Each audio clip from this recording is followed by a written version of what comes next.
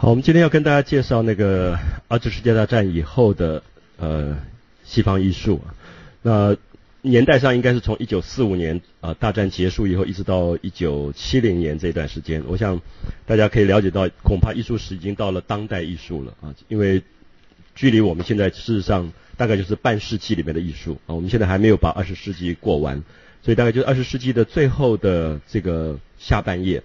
所发展出来艺术，那这时候我们看到一个最主要的特征就是美国的艺术崛起。那在这个之前，我们看到西洋美术史，我们几乎完全没有碰到任何跟美国有关的发展。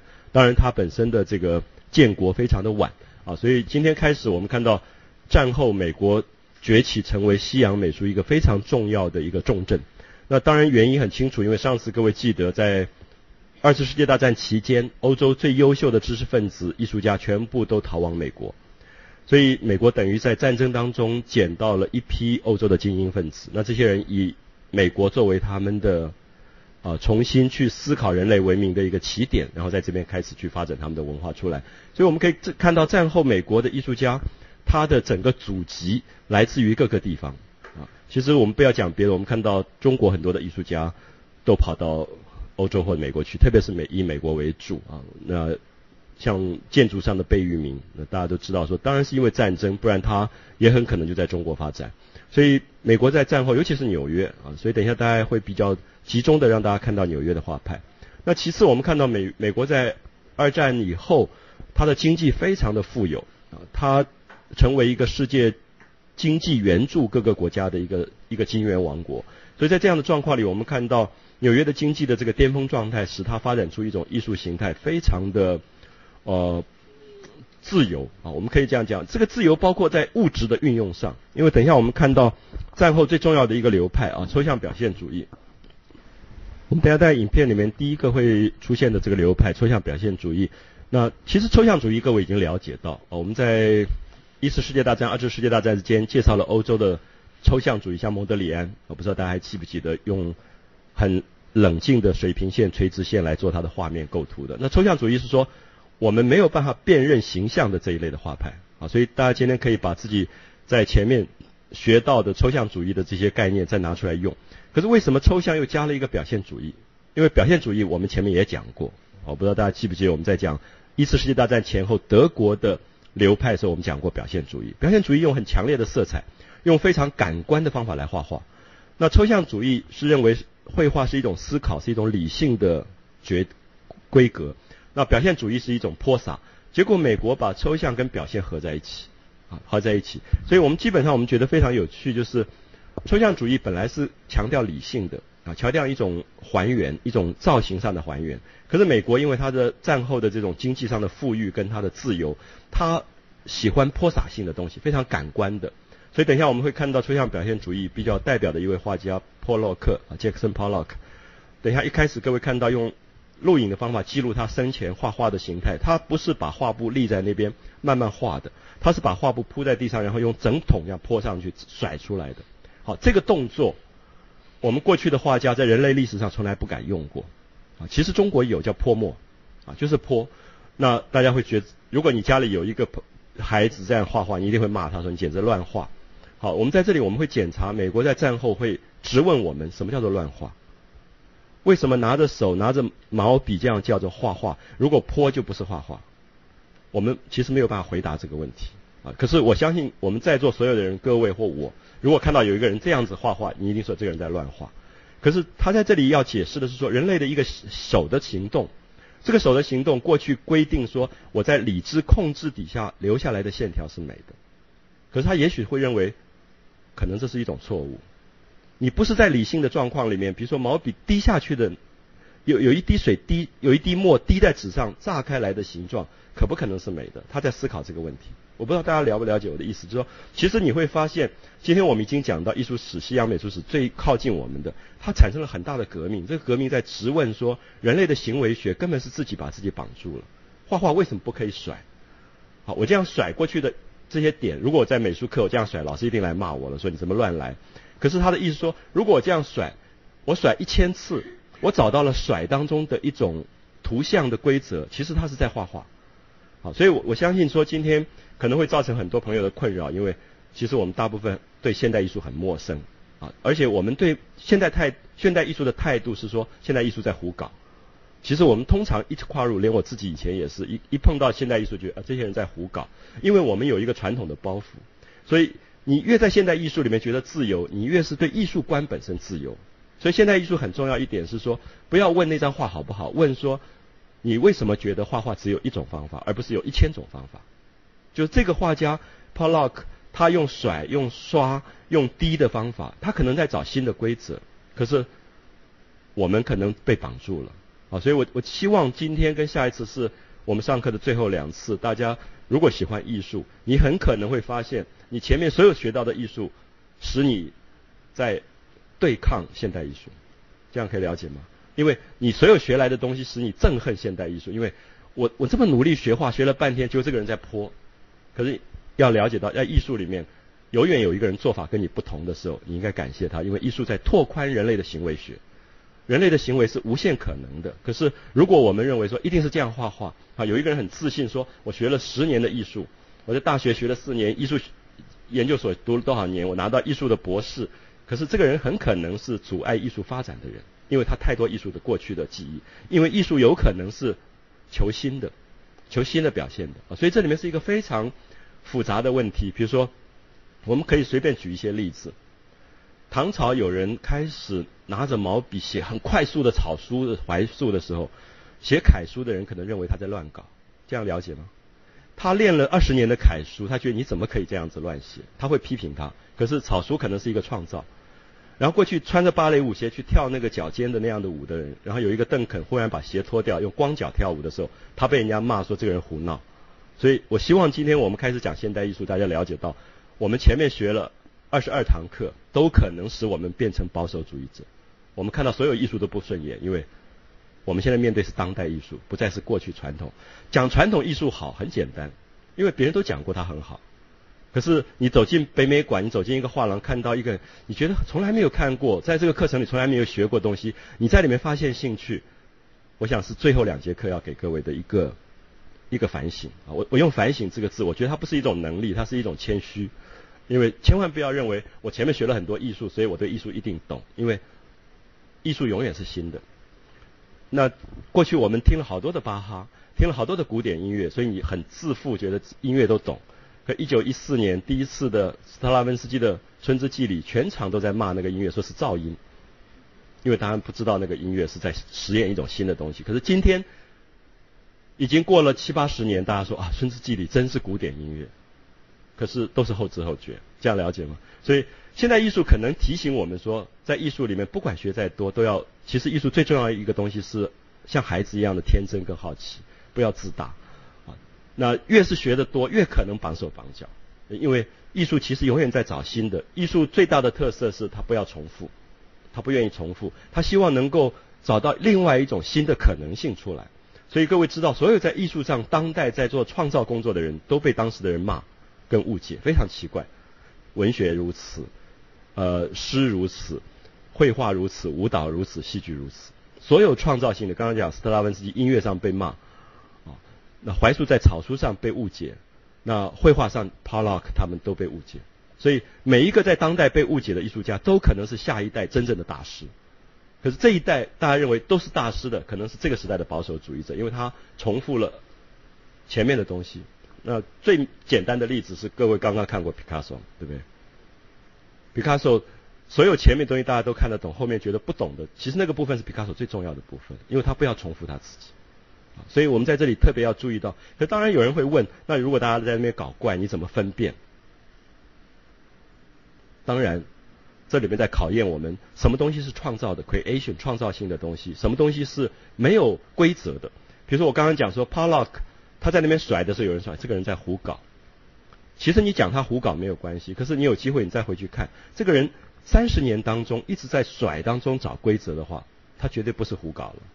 因为胡搞不会不会重复到要找规则，所以 Pollock 在那个非常大的画布上不断的去甩的时候，他在找一些规则。所以我的意思说，其实我们对刚刚发生的事物稍微小心一点啊。然后等一下各位看到一个意大利的画家叫冯塔纳。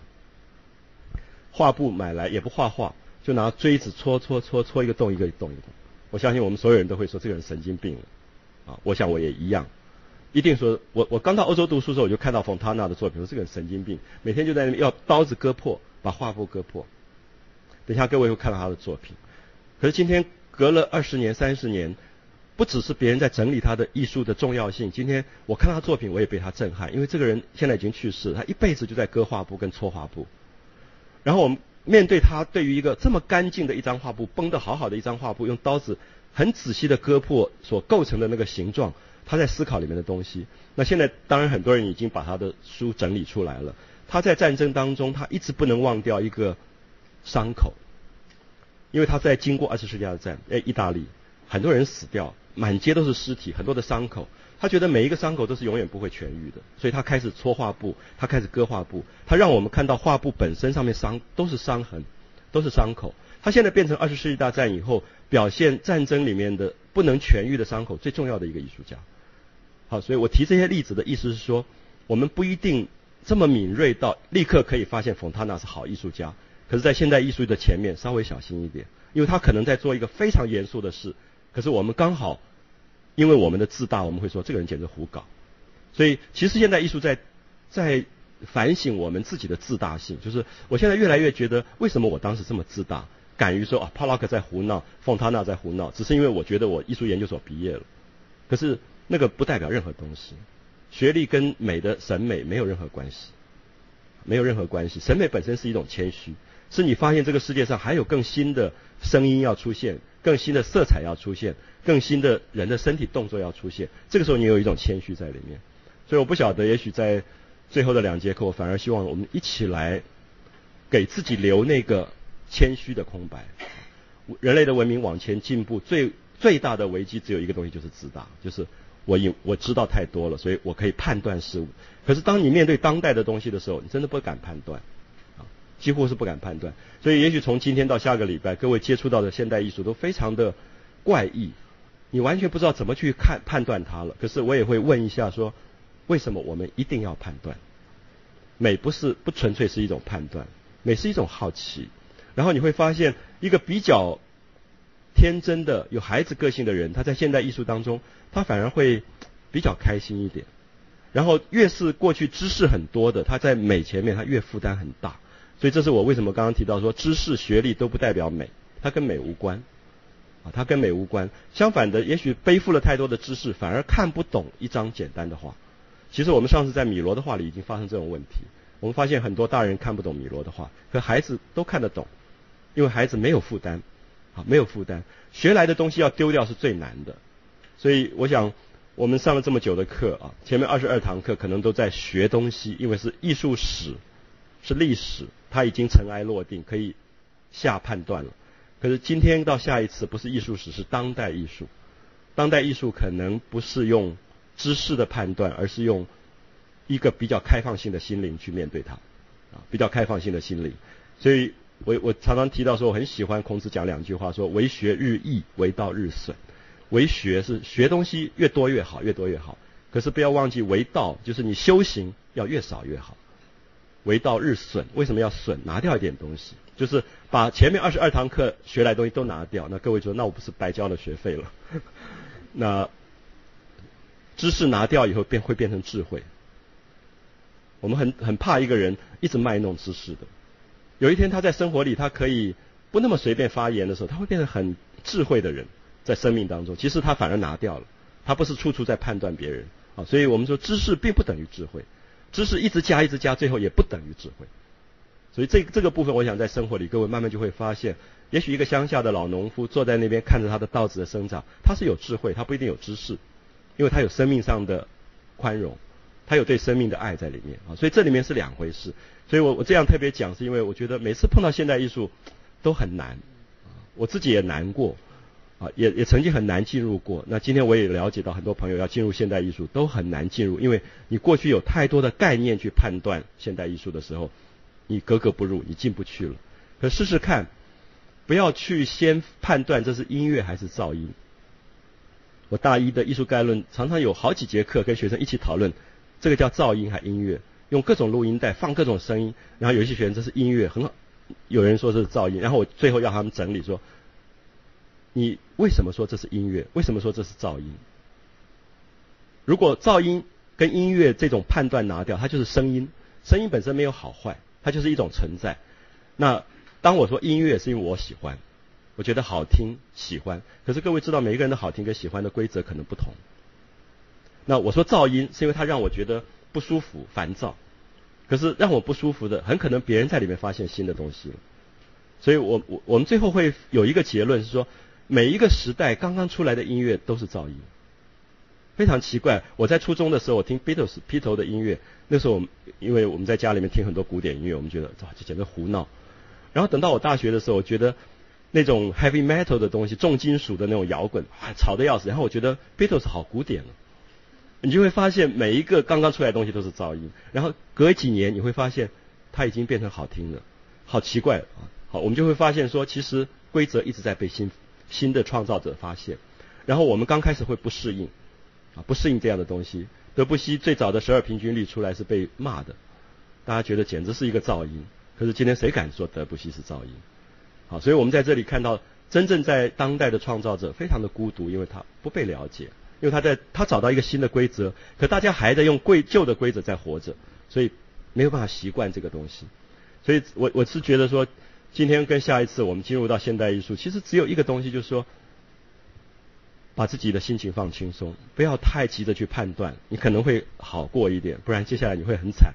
你忽然发现一个人把漫画也拿出来当艺术了。啊，等一下我们看到 Lichtenstein，所有东西都是漫画，还有 Andy Warhol。把玛丽莲梦露的招牌拿来当艺术了啊！所以如果你还要用前面二十二次来判断，你你今天跟下一次都会痛苦不堪啊！可是如果是整个的意念一转，你就会觉得开心的不得了。你觉得艺术的世界这么广泛，这么宽阔，那下一次更严重。下次有人就拿一块布把一个房子包起来就是艺术，你怎么办？啊！所以如果你要生气的话，你这两次你都会气炸掉。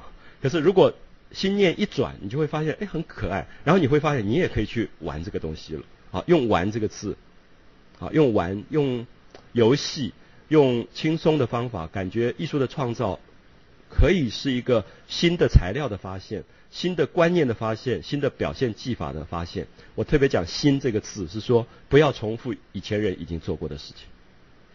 如果那支毛笔这样子重复过，我就去找毛笔的其他可能。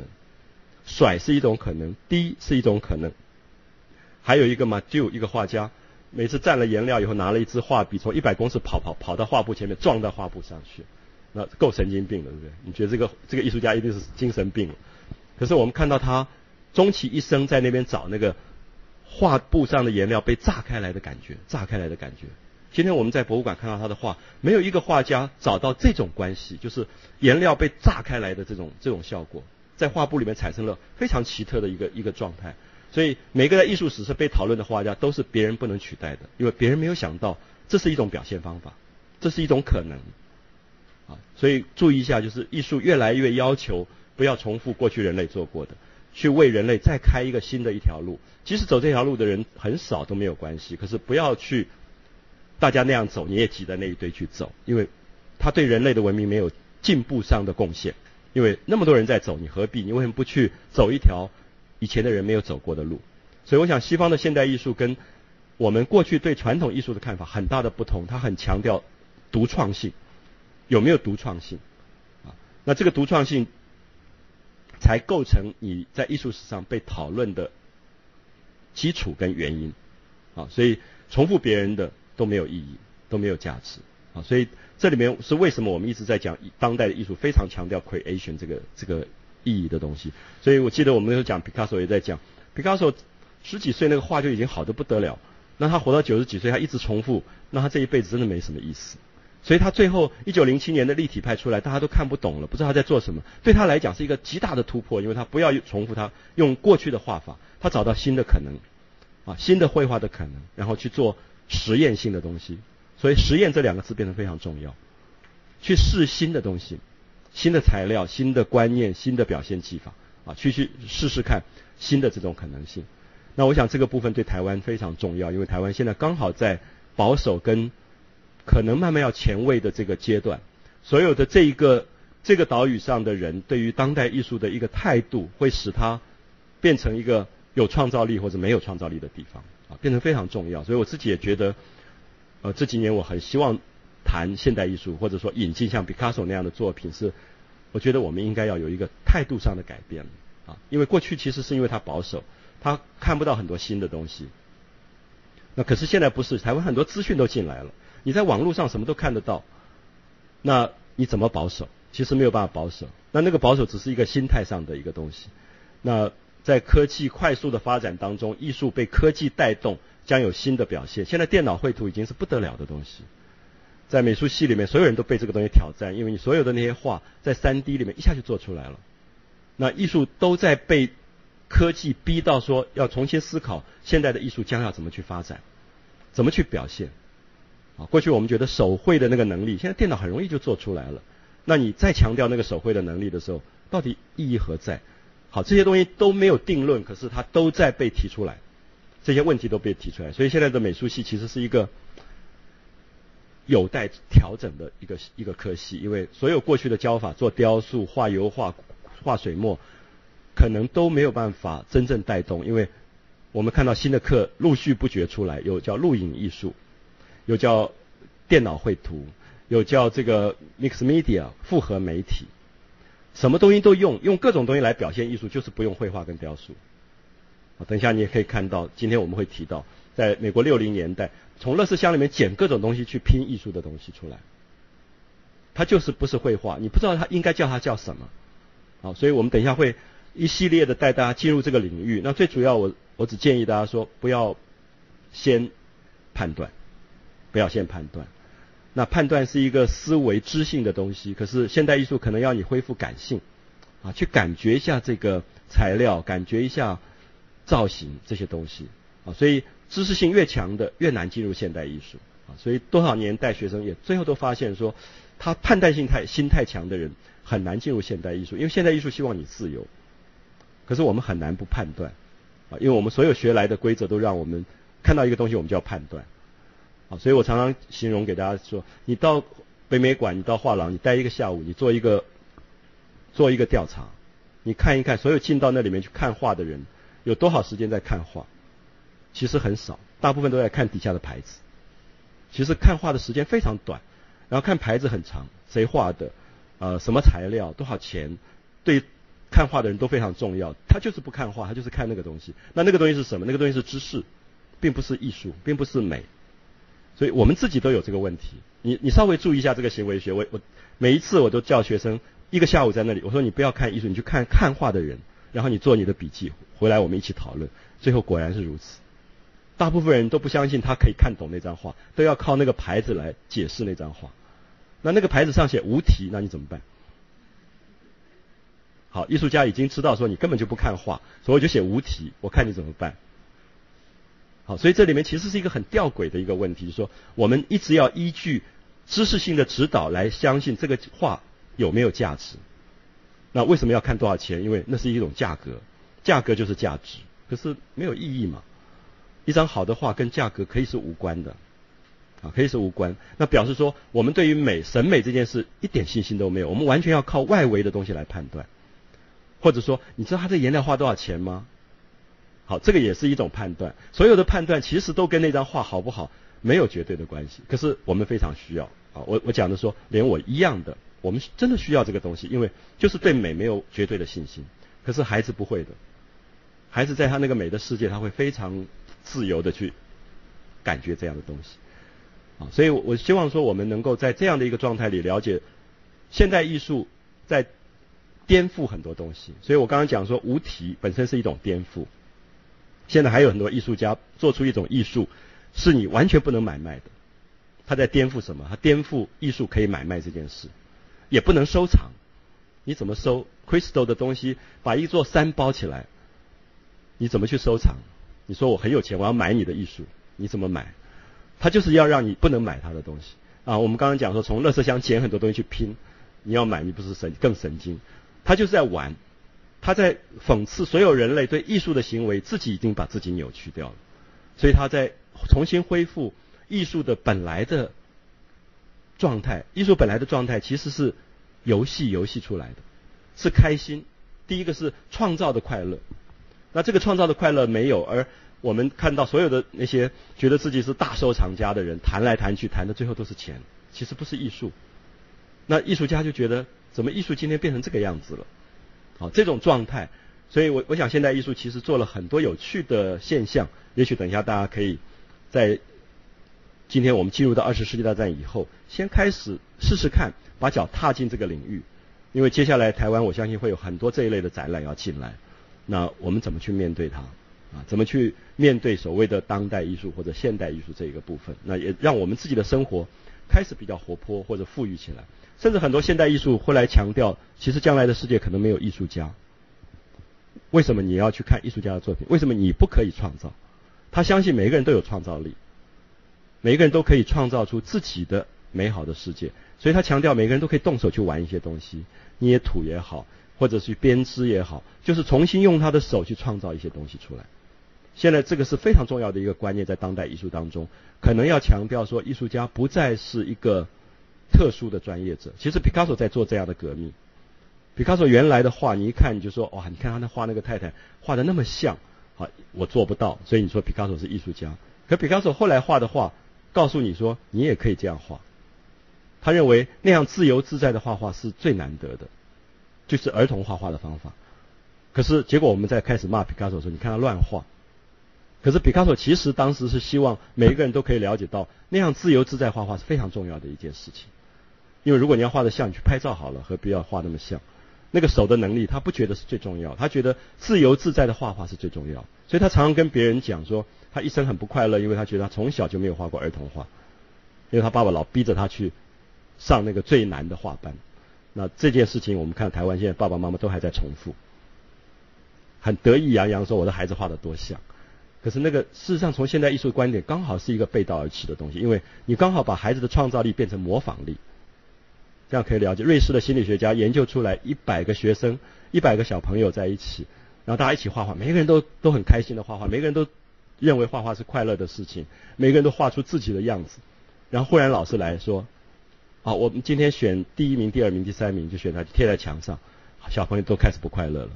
因为他忽然他觉得他价值被否定，然后好下个礼拜再画画，所有人都学第一名，所以九十九个人都失去创造力，因为他模仿了，因为大人告诉他你是不好的，他才是好的。好，所以儿童美术里面现在非常严重的一个问题是说，不要去让孩子把创造力变成模仿力。所以儿童画他们根本现在不主张比赛，因为儿童画本身就是他自己自发的一个快乐。可是如果你否定他说，你看这是第一名。所有的人都完了，都开始学这个东西。那这样的教育在我们的儿童教育里面到处都是。所以其实你回忆一下，我们在成长的过程里，其实一直在放弃自己，一直觉得自己没有那个人好。可是现在的教育，儿童教育里面是认为说，怎么样去让他每一个人都觉得自己是无所取代的，是别人没有办法代替的，因为他有特色，啊，他有特征。这就是现代艺术。现代艺术强调。每一个生命的个体的创造都是跟别人不同的，他有他自己的特征在里面，去发现那个特征，而不是画一。那画一的话就去到军队去，他就一样了。啊，事实上我们还在延续很多军队性的管理的这个方法，所以我想我们今在面对当代艺术的困难，其实在于这个东西，我们这个东西还拿不掉，有时候拿不掉，还没有办法承认每一个存在的生命的个性才是最可贵的这个这个部分。啊，所以希望今天。跟大家一起进入这个领域的时候，大家能够有这样的一种转换啊。事实上我知道很难，非常非常困难，因为你过去的那个价值观要一下要丢掉是难的不得了的啊，难的不得了。可是比较健康的个性就是我不怕我自己把我自己过去摧毁，那个时候他会自由起来啊。可是通常大概过去东西越牢固的越难进入现代艺术。啊，所以大家可以给自己一个这样简单的一个测验，看自己面对当代艺术的时候，大概会产生什么样的一种一种心情上的变化。好，我们下面用影片来给大家看，因为我想现代艺术作品大家很不熟，所以我们多花一点时间，大家看一些这些作品，然后直接探讨我们对这个作品的感觉。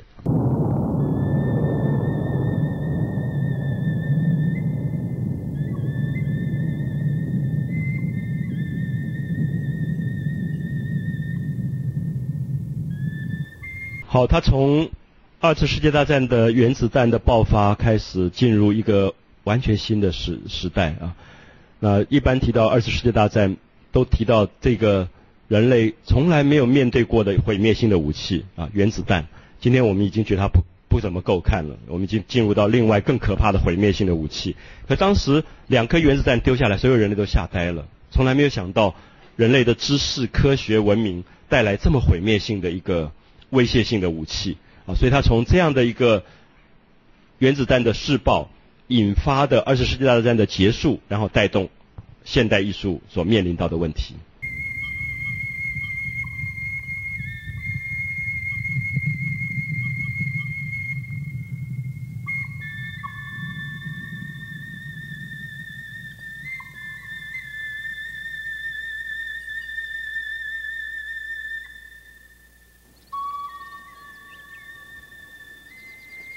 The events of World War II cast a shadow over the rest of the century, and perhaps over the rest of history, and inevitably they changed the course of Western art. In Europe, the unbelievable scale of the Nazi genocide against the Jews left Europeans with the task not only of restoring their broken cities, but of repairing their shattered culture And in America, the explosion of the first atom bomb out here in the deserts of the Southwest meant that for the first time the fears of medieval man might come true, that the entire world might be destroyed in a single terrifying apocalypse. 啊，他用很简单的几句话来带出了二次世界大战带动的人类面临到的共同的危机。欧洲这边啊，德国的希特勒屠杀了几百万的犹太人，啊，人类重新在检讨 人性到底是什么啊？人为什么可以这样去屠杀人？人类的文明到底在进步还是在退步？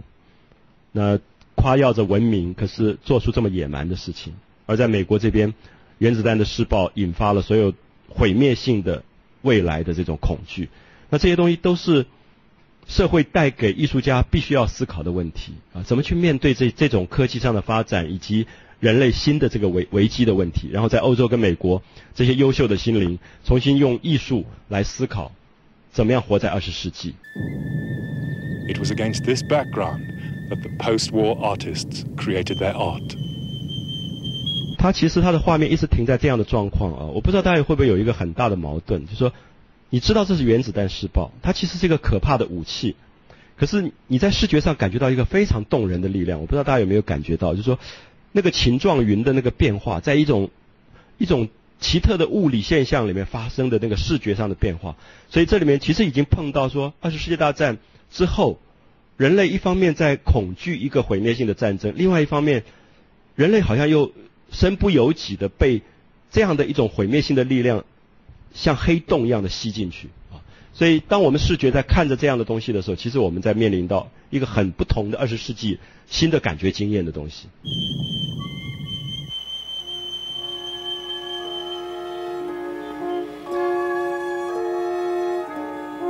然后，纽约变成了战后艺术的一个最重要的地方。那，全世界重要的艺术家都往这个地方集中。那它也提供了最好的绘画市场、艺术市场。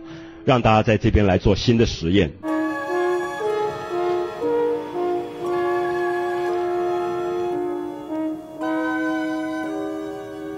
While Europeans couldn't forget their past。好，为什么是纽约？其实我想，我们前面在艺术史大家都知道，艺术史的风水轮流转。各位回想一下，我们第一节课讲的希腊，后来到了罗马，到了意大利。然后他跟着他跑了很多的地方，有的时候在西班牙，有时候在荷兰，有时候跑到法国。那法国在十九世纪是重镇，对不对？印象派全部在法国。可是二十世纪又跑到美国去了。所以我们就会看到，艺术本身是跟着政治的自由跟经济的繁荣在走。艺术本身非常的现实，你没有政治的开放的环境、自由的环境给他，他就跑掉了。你没有经济上的繁荣，他也活不下去。所以大概重要的两个条件是。政治的开放、自由跟经济的繁荣，啊，那二次世界大战以后，纽约提供的确提供了这样的条件，因为在欧洲，我们看到希特勒、墨索里尼，他们老是要判断什么叫好艺术，什么叫不好的艺术，然后他们的判断力又常常是错的，常常把好的艺术当不好的艺术，所以艺术家就要被抓到集中营去，那艺术家当然逃亡。可是美国从来不去判断，这个时候他非常的自由，他觉得你你画画画不好，没有那么严重，何必要下监牢？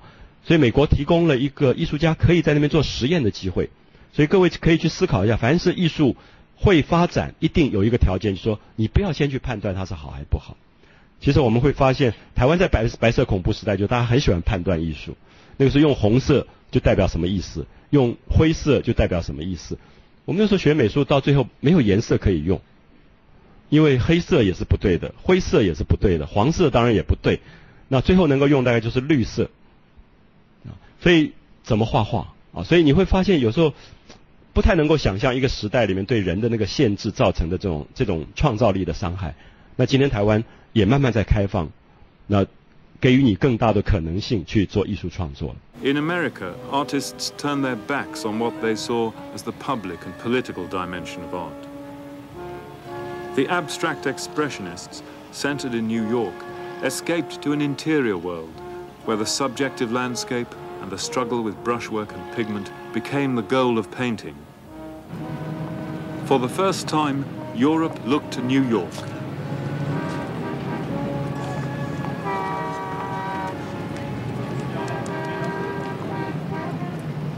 Abstract expressionism, abstract art, is part of Western tradition. It evolves out of it, it's part of it, remains part of it. It's not Oriental, it's not, uh, it's not a new tradition. Clement Greenberg, critic and promoter of the New York School, became their spokesman and a friend of the leading abstract expressionist Jackson Pollock.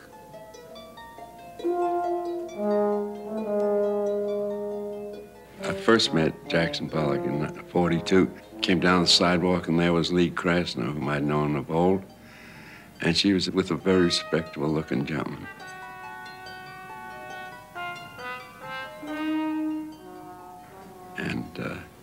I saw this rather nice looking guy. And Lee said to me, This fellow's going to be a great painter.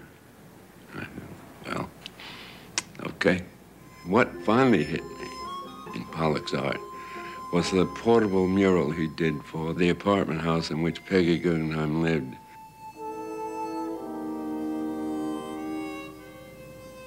That hit me. It was the first. First time I saw him go all over, repeat, repeat this way. I thought that was a great painting, and I began to follow Pollock assiduously, you can say, after that. Raised in the American 好，所以他介绍了抽象表现主义出现啊，在纽约最重要的一个五零年代的画派。 然后这个画派里边的领导的一个人物就是杰克森·波洛克啊，Pollock。现在我们看到的拿着画笔在地上滴东西的这这一位，等一下有影片可以看到他的动作，所以大家就会看到他改革了画画的方法。就是我刚刚讲说，人类的手拿着一个毛笔，不管在中国或在欧洲，一直有一个画画的习惯。可是今天这个画画的习惯忽然被怀疑了。为什么画画一定只有这一个方法？有没有其他的可能？也许他刚开始他自己也不知道对还是错，他只是想试试看，然后他就慢慢去试出了一种新的状况。Southwest Pollock was influenced by Indian sand。好，你特别注意，杰克森画画跟传统最大的不同是，他的画布是没有表框的，是铺在地上的，然后他的画笔上的油料是直接滴下来的。好，这个就跟画不一样，对不对？所谓的画是说你要把毛笔压在画布上，拉出线条叫画，对不对？我想各位现在画画都是这样画的，可是为什么一定那样才叫画？如果这样滴下来的油料产生的线条，有没有可能也是一种线条？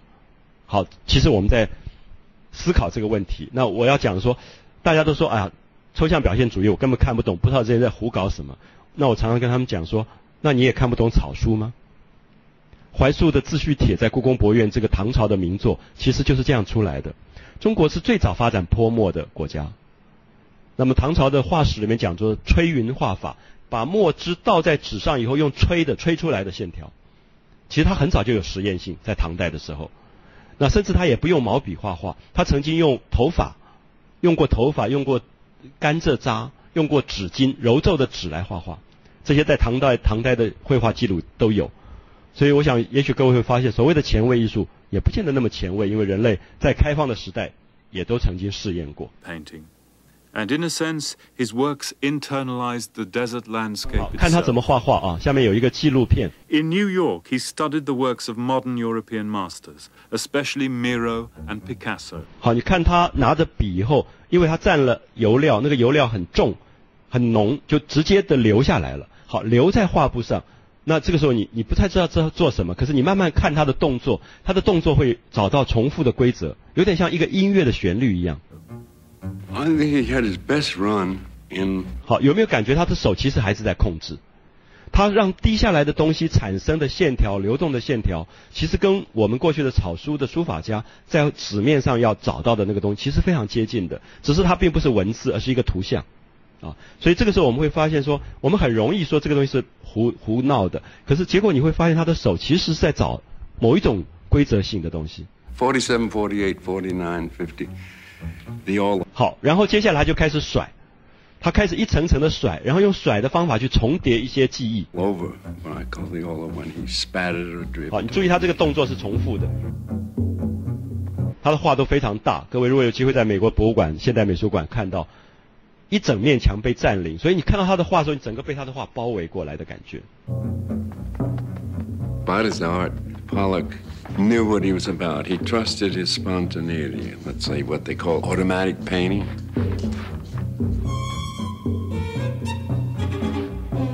But he was in control. 好，我也常常讲说，也只有美国在战后这么有钱的时代，可以容许画家这样画画。因为我记得这个画在当时六零年代影响到台湾，可是我们当时做学生的时候，我们连一管颜料都买不起，所以看到他们可以这样画画，真是羡慕死。因为它是一桶一桶用，我们就要说挥金如土，因为那个颜料很贵。那中国有一句话叫惜墨如金，因为穷。啊，所以文人很穷，就用墨用的像黄金一样，很节省。可是美国在战后，它的物质非常的富有，所以它变成挥金如土的一种画法。那这里面当然跟它的物质条件有关系。He'd stop from time to time. 他的画其实是好几层的啊，就是每一层都用了一种手的动作去重叠，去重叠。那没有图像，可是它就是一些视觉上的痕迹，然后构成的一个旋律性的一种规则。see what he'd done. And then when a picture was finished, he'd go back and edit now and then. 好，在画完了以后，他在上面做一些整理，然后才把它裱在框上立起来。啊，因为这些画非常大，他的工作室简直像一个工厂一样，铺在地上这样画的。When it comes to abstract 好，这样的一张画，当然现在各位看到是荧幕上的东西，事实上它比我们荧幕要大好几倍，所以注意一下它的画跟尺寸真的有关系，因为你面对它的原作的时候，你是被整个的像一个，比如说你在面对一片海洋或者沙地一样被包围的，啊，它那个尺寸之大，会整个排山倒海压过来，所以里面有一种很强大的力度。那我们在复制品上这样看，可能不太容易感觉出它原作的力量。there's no subject matter, but there is content. The two 它让我们的视觉经验它一次一次重叠出来的那些动作的冲撞的力量的记忆，然后让它在上面变成一个符号一样，就像我们走在沙滩上去看沙地上重叠出来的脚印，或者是这些痕迹的感觉。其实我们在自然里面我们会观察这样的东西。啊，他现在把这个东西用绘画艺术的行为把它表达出来了，或者是有时候好像在看天上的云，有时候在看雨滴在沙地上留下来的痕迹啊，就说其实它是一种自然中母所创造出来的一种力量。have to be distinguished, subject matter and content. In other words, the 那我想最一般大家会觉得看不懂的原因说，因为我不知道他在画什么。可是我也常常会提醒说，你有时候面对一片沙地在发呆，觉得哎上面好多螃蟹走过的痕迹，好漂亮。其实我们也不知道那是什么，它并不是一个可以懂的东西，它就是一个视觉上的快乐。你晚上面对满天的繁星，那个感觉其实不是懂或不懂的问题，是一个视觉上的感受。那用这个角度去面对 Pollock 的画作的时候，它其实是有一点像把我们的记忆重新带回到大自然里面的这样的一个 纯粹视觉上的感受性。 Presence or absence of a recognizable image has nothing to do with value in art. It doesn't have to be about anything.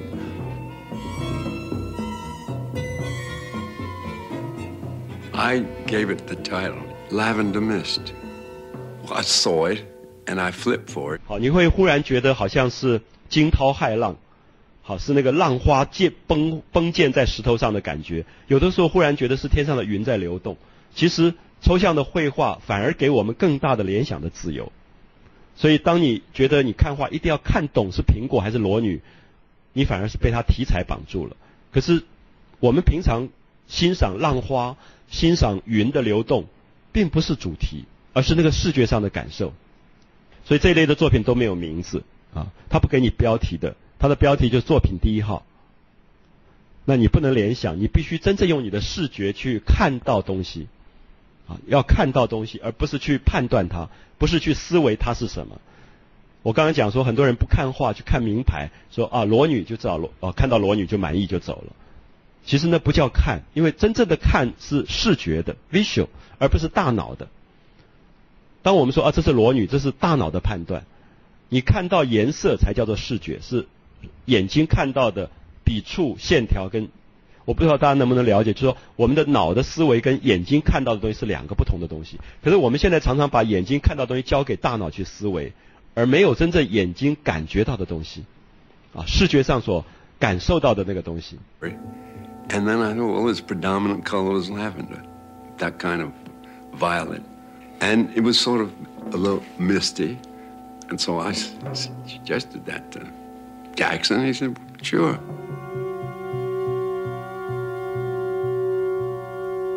像不像云啊？像不像一种水的流动啊？其实它有很多东西让你很感动，好像你回到大自然的地景当中去。可是事实上，如果你你会觉得你很想知道他他在画什么的时候，你就很不耐烦了。你觉得你看不懂，你就走掉。那事实上，如果你不在意那个主题，你反而会真正让你的视觉感受到我们现在看到的这些东西。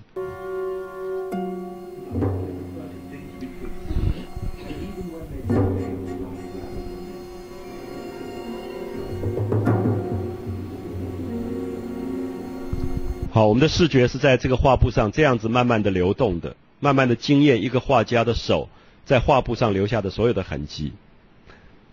那这样的一个抽象表现主义的画风，当时变成美国最重要的一个战后的流派，影响到台湾。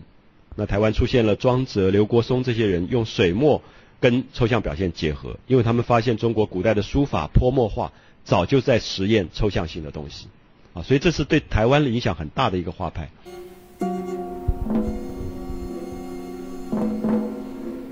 He wasn't this wild, heedless genius. No, he wasn't that. 好，感觉一下它的那个油料堆叠所发生的，有的时候像火山的爆发，有时候就是我觉得里面有好丰富的东西。好，可是如果你不被主题绑住的时候，你才会自由，你才会让你的眼睛去惊艳这么多的色彩跟质感的流动。He looked. He looked hard. And he 只要 was 你 very sophisticated. 只要你一想判断，你就完了，你马上就不耐烦了。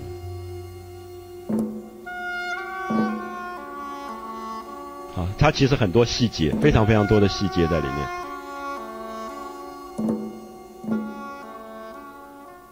有时候像一个蜜蜂的巢啊，又像一个蚂蚁的窝。那我们在做孩子的时候，看到一个蜜蜂的窝，我们可能会待在那边看半天，觉得里面好神秘的结构。可是长大了以后，我们说啊，它是一个蜜蜂窝，我们就走掉了。那长大以后是大脑的判断，小孩子说是视觉的判断，视觉的感受。那现在他这一类的绘画就是重新恢复我们孩子时代那种不判断事情的那种感受力量，啊，真正去感受它里面内在的空间。The gesture of Pollock create an arena for a personal drama. It is not a document of an historical and social tragedy. Instead, in Europe, the artist couldn't forget 好，这个欧洲的艺评家告诉我们说，美国的波洛克、波洛克在做这样的抽象表现主义的时候，他不思考政治问题、社会问题，他就在做一个纯粹的个人心灵流动的表现。可是他要比较，他说，二次世界大战以后，欧洲的艺术家没有这么幸运，因为二次世界大战以后，欧洲所有的艺术家都背负着战争的痛苦。美国本土除了珍珠港事变以外，没有受到太大的战争的波及。可是欧洲是所有人都被战火蹂躏过的，所以每一个人的心灵都是破碎的状况。在那个破碎的状况里，他很难没有战争的记忆、死亡的记忆、受伤的记忆、血的记忆。啊，所以他要举出下面一个法国的艺术家，他也在做抽象的艺术，可是里面全部是撕裂的肉跟血的流动。Forget the trauma of the war, and each painting, each sculpture is full of scars, is full of pain. Is 好，这个法国艺术家，各位现在看看不出来，等一下把它放大，你会发现是那个人的肉体被撕开以后，里面那个淡淡的血的痕迹。full of blood. 好，他用很堆的很厚的 JESO。油料混在一起，然后让它产生那个肉破裂开的感觉。那这个只有在欧洲经验过战争的伤痕的人，因为在战争里面他们一直看到破碎的肉体，所以看到那个血痕、淡淡的肉撕裂开来的感觉。Carries on the memory of death. The painting, it's how you. 我想各位在这个局部里其实感觉得到啊，就是是伤痕，他在做伤痕这种东西。啊，那个血意的记忆，那个伤口的记忆，他始终忘不掉。You feel by the French artist Fautrier suggests the look of broken flesh, its blemishes and craters. 好，然后下面就要他要开始介绍刚才提到的冯塔纳。冯塔纳割画布、搓画布，他也做雕塑。他每次都做一个圆球啊，做一个很完整的圆圆球。做完以后，他就把把它弄破。他永远在。把完美的东西戳破，那其实就是他战争的记忆，因为他觉得战争就是把所有完美的东西忽然弄破，把一个完美的家破坏了，把一个完美的身体破坏了啊！战争本身就是破坏，他就在他的艺术里做破坏这件事情，然后让别人感觉到破坏的那种可怕的力量。The Italian artist Fontana literally attacked the clay. ripping its surface open. 好，他就你可以看得出来，他做一个雕塑，做完以后他就用刀子把它切开。切开一个伤口，然后这个东西刚开始你真的不知道他在做什么，可是你到了一个大房间，看到他所有的雕塑都是这样做的，你开始去反省，这个艺术家到底在思考什么问题？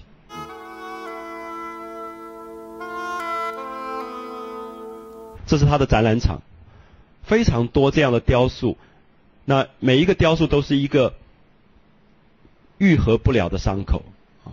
我记得。台湾有一位作家陈寅真先生写过一个小说叫《将军族》，里面讲说，他看到一个一个当时的一个妓女被黑道杀死，然后他说他那个伤口好像凄惨无言的嘴，好像是很悲惨讲不出话的嘴。那我看到冯唐纳后来的作品，我就想到这样的一个句子，其实他就在讲战争里面一个完整的东西忽然被破坏了，然后一种无声的悲哀的感觉。He used scissors to stab these. 好，这是他的画啊。他现在各位可能看不出来，他就是把画布用用锥子戳破，戳破以后，他再用油料慢慢去补，好像希望把它补起来，让别人不再看得出来。可是最后别人还是看得出来，就是那个伤口的部分啊。Holes into the canvas.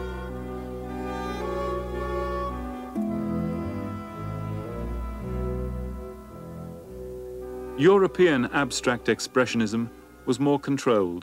More finished。好，我想大家看得出来，冯塔纳就是在那个画布上用锥子戳戳戳了很多洞，然后再用油料慢慢去补，想把它盖掩盖起来。The American art had a different look。好，然后美国这边的另外一个叫 Franz 克莱克莱因啊，克克莱因啊，Franz 克莱因，各位感觉这完全像中国书法。他们都到日本去学很多书法，可他不学汉字。那各位觉得很奇怪，书法一定要懂汉字？他其实不一定。他说。他不懂汉字，可他觉得书法很美，因为书法就是一种白跟黑之间的关系，啊，一种空间的关系。所以这个时候，我们看到很多美国的艺术家到日本去学各种的书法的表现，而不是书法本身。我不知道大家了不了解？我们说这个人字写的很漂亮，其实不是说那个字本身要读出意思来。所以我在法国认识一个人，他很喜欢书法，他每次就弄了很多汉字的东西。我跟他说：“你你把这个字写反了。”他说没关系，我不是要要认识字，我不认识字，我就是要那个空间的感觉，要那个毛笔的刷过去的笔触的感觉。所以这个时候我们叫抽象表现，就是他把文字的局部解散，变成一种新的绘画元素。我不知道大家记不记得我们谈中国美术史的时候说，其实永字八法就是把它拆开来的，不让你欣赏一个字，而只欣赏其中的一个线条。啊，所以可能我这样讲，各位会觉得不服气。我的意思是说，今天有可能一个法国人、一个美国人比我们在座的人懂书法，你会觉得怎么可能？因为我们是汉写汉字的人，就是我的意思说，因为我们被汉字绑住了。我们看到一种书法，我们在读意思的时候，其实我们不懂书法。书法是什么？书法是欣赏写字的美，而不是欣赏它的意思。这样可以了解吗？所以其实 Klein 他们就。发现说他不懂汉字，可是他可以真正把书法的规则运用在他的画布上，啊，产生了这样抽象表现主义的这样一个流派出来。好，你看他走到局部的时候，更明显，完全像书法，完全像中国的书法，可他是用油画来做的，注意一下。好，黑色跟白色的关系是什么？其实中国古代的书法家也讲“既白以当黑”。他不懂书法的人才在看黑的部分，真正懂书法的人是看白的部分，叫既白以当黑。那事实上在讲空间的感觉，好，所以我的意思说，的确我们看到 Klein 这些美国画家可能是比我们还要懂书法的，因为他真正发展了书法的空间感出来。And a kind of emphasis, I don't want to say violence. 你看像不像一个颜真卿的书法的局部？啊，非常非常像。所以他就是把局部里面还有笔触，还有飞白这种东西全部都有，可是它就不是一个字。如果是一个字，他觉得你就会读意思，所以他不要给你意思，他要让你真正是什么 visual 视觉。好，如果你懂意思就是大脑，这样了解吗？你不懂意思就是视觉，就是 visual，你真正在看。所以你在面对怀素的自序帖，你读不懂意思的时候，你才真正在欣赏线条，就是视觉的东西。我不知道这样各位可不可以对自己做一个考验，就是说有多少时候我们根本没有在看画，我们其实在看意思。如果看意思，它不叫做绘画，因为它不是视觉，它是大脑的反应。啊，从这里这个抽象表现表现主义里面可以思考这样的问题。Franz Klein drew inspiration from Cubism. 啊，德库宁刚刚过世的德库宁。did portraits that became highly charged responses to the women who were his models. The abstract expressionists wanted to paint on the same level of quality. 德库宁去画一个他认为世界上最美的女人，然后用这种可怕的方法去画。我说可怕的方法就是说，他觉得所谓的美其实是一种主观，是你对那个女性的身体的占有，或者是拥抱或者征服的那个欲望，他把那个东西强烈的用表现的方法表现在画布上，他觉得不是一个客观的临摹。好，这个时候他又产生了具象性的表现主义的这个作品出来。As the old masters, or as let's say the best the school of Paris, Picasso, Matisse, Mondrian. 好，美不断的被颠覆啊。那 Roscoe 从从俄国移民到美国的一个艺术家，单纯的去做色彩。我完全没有办法在这个录影带里跟各位讲 Roscoe 的话，曾经在美国多么让我感动。因为他的作品啊，是一层层的那个颜料。你现在看到这个颜色，事实上不是一个颜色，是好几种颜色。它有点像薄的纱，很多人形容他的画像纱，就是一层紫色的纱，底下是蓝色的纱，然后在底下是红色的纱，然后一层一层的颜料透出来的那个感觉，漂亮的不得了。可是，在复制品做不出来啊，因为复制品只有一种颜色。事实上，它是一层红色。然后再掩盖了一层蓝色，再掩盖了一层紫色，所以构成不同的色的颜色的那个光的感觉啊，所以很希望大家有机会到纽约的现代美术馆有机会去看 Rosco 的作品。我觉得现代艺术是最不能够复制的啊，因为它里面有很多实验是只此一张的感觉，你必须要看原作。啊。啊，Roscoe 全部在做色彩里面的光的感觉。啊，所以你叫做抽象画，可是里面有很大的视觉的快乐在里面。Mark Rothko，好，我必须提醒，我们是根本看不出他的画的特征的啊，在这样的一对当中，事实上，你到原作前面吓一大跳，那个颜色好丰富，你绝对没有办法说这是橘红还是橘黄还是，它就一层一层的色彩在变化。啊，那所以我只能够讲解给各位说，Roscoe 的作品有这样的一种效果，视觉效果，你必须有一天看原作你才知道。Chose a path to pure expression. by using only gradations of color on his canvases. 这样可以感觉到一点点差别吗？它中间其实不是一种单色，很复杂的颜色一直在变化。Pollock's vision and Greenberg's theory. 好，然后波洛克有一个女弟子啊，一个女学生叫 Helen Frank Seller，海伦·法兰克塞勒。那她也是抽象表现主义，可她跟她的老师很不同，她不是用油，她用水。好，各位看，她是在没有打底的棉布上，用水性的颜料、亚克力颜料去使它渗透。啊，产生很像中国水墨画的某些效果，然后它的题材都是自然，它叫 Mountain and Sea，山或者海，好，所以这里面很明显受到了很东方的山水画的影响，还有棉纸跟宣纸都是吸收性比较强的材料，所以它的棉布也是这样的材料，啊，发展出一种很女性特征的温柔的画风出来。Were explored by a second generation. Many acknowledge that. 好，去感觉一下它的画笔。水性颜料被渗透的那个感觉啊，你会觉得跟他的老师 Pollock 那种很强烈的甩刷的感觉不同，而是一种渗透。那女性是比较温柔的，所以女性的画风在这里产生了一种比较比较柔软的感觉啊，你会觉得它不是阳刚的，不是抵抗性的，而是被渗透性的感觉。很像天上的夕阳，很像台风过后的云。She stained her canvas with highly diluted paint. To achieve these haunting effects 追求一种很温柔的流动。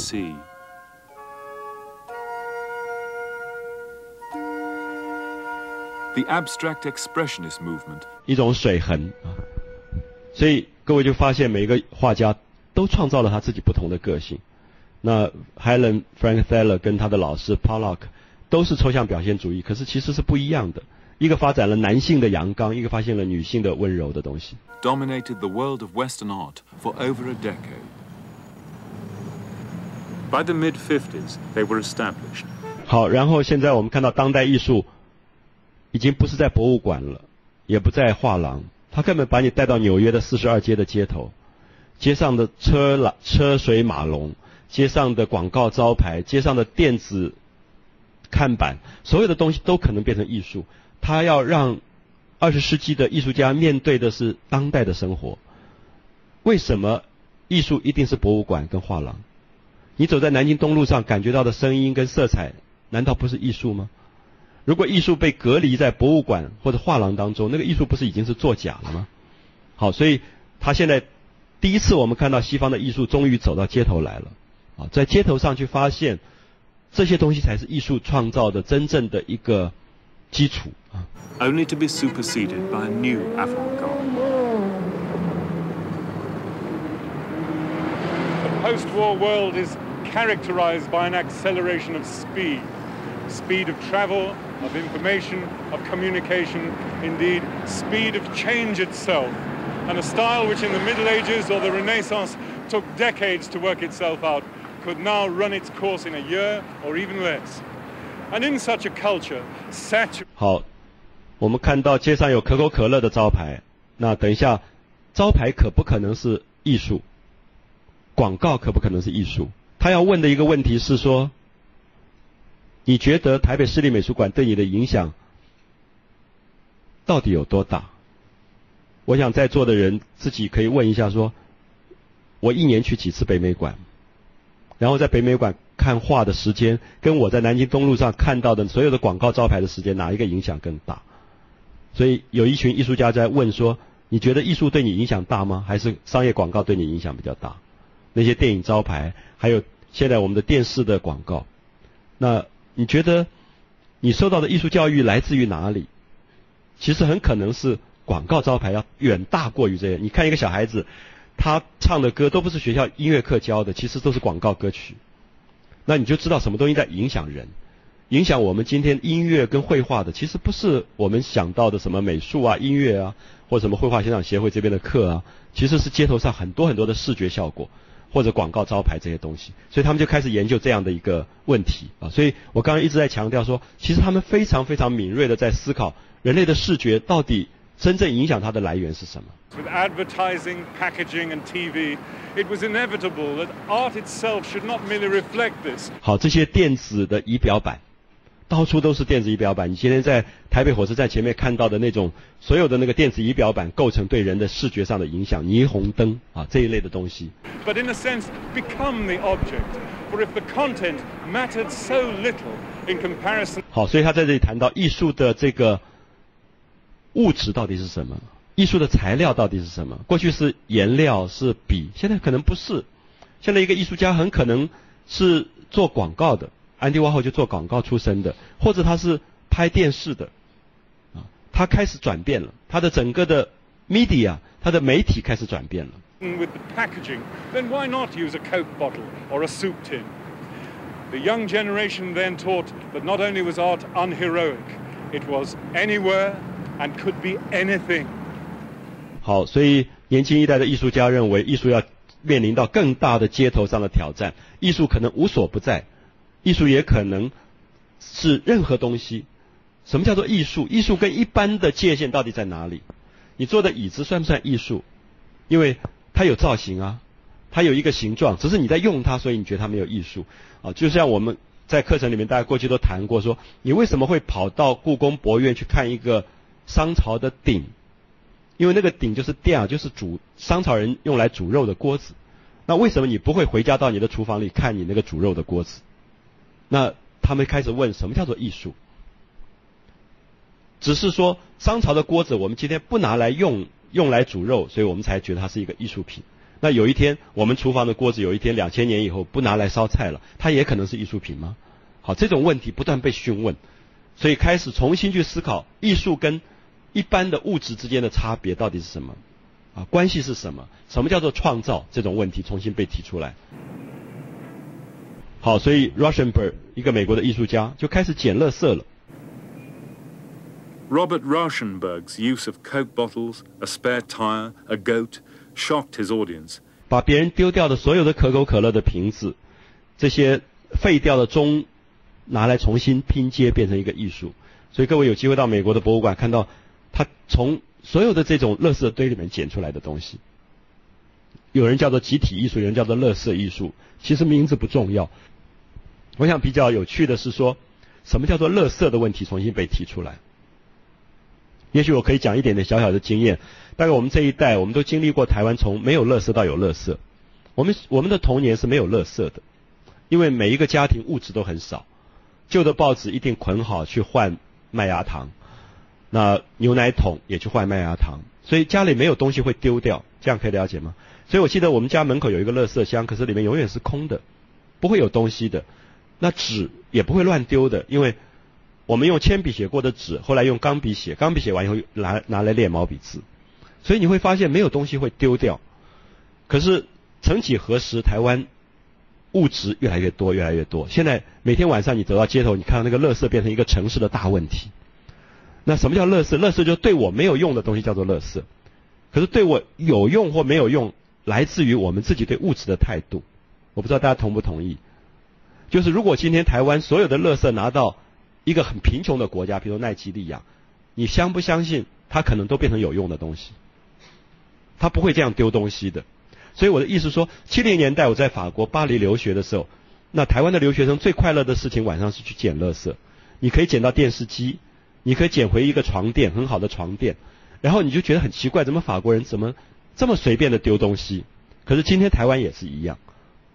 你会发现，并不是那个电视机坏了，而是你觉得对你没有用了，因为你希望买更新的。好，这个时候你会发现，物质的淘汰本身，你称它为垃圾，是因为它对你没有用，可它并不见得没有用。所以，美国是一个消耗物质最大的国家，尤其纽约这样的城市，有一个艺术家就开始像苦行僧一样，走在垃圾当中，把你丢掉的垃圾再捡回来，然后拿到博物馆，让你在博物馆看到说，哎，那不是我昨天丢掉的瓶子吗？你忽然吓一跳，说这个瓶子好像这个艺术家怎么会觉得它有它是有意义的？大家不知道记不记得看过一个电影叫《上帝也疯狂》，一个文明的人丢到撒哈拉沙漠去的一个瓶子，对非洲土人来讲，简直是一个不得了的神圣的东西，可以拿那个瓶子来做乐器，可以拿那个瓶子来玩各种东西，因为他们物质很少，好，所以。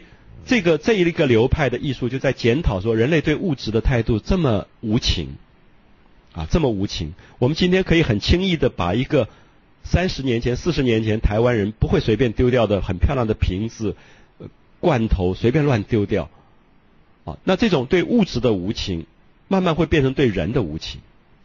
所以过去我们我记得我童年的一个玻璃弹珠，一直留到我大学我都舍不得丢掉，因为它它变成我的童年的记忆。可是今天也许我们昨天买的东西，今天就对它没有兴趣，因为你还可以买新的，因为所有的广告都刺激你说你应该追求新的东西，东西还没有坏就要丢掉。我们小时候常常衣服是穿破了补了以后换的，可是现在从来没有一件衣服我穿破过。好，所以这里面当然是对物质的态度不同了。那物质的态度不同是说，过去有一个东西你会留着很久，现在不会。那所以也有从行为学上，一般人认为人类对物质很薄情，那对人也很薄情。所以现在的人的情感本身也像物质一样，很容易发生，很容易丢掉。啊，很容易发生，很容易偷掉。我记得我们在在我们的年代里面，流行着爱一个人爱好多年，对方不知道的。可现在也许这个东西是很嘲笑的，也许今天上了床，明天就离开了。而且用很潇洒的方法分手。所以这里面当然这个流派的艺术在检查人对物质的态度本身是人的伦理的态度。啊人类本身他的行为改变的这个问题。那当然美国是最早发生这个问题的国家。所以 russian boy 就用这样的一种乐色艺术开始去提醒很多有趣的东西。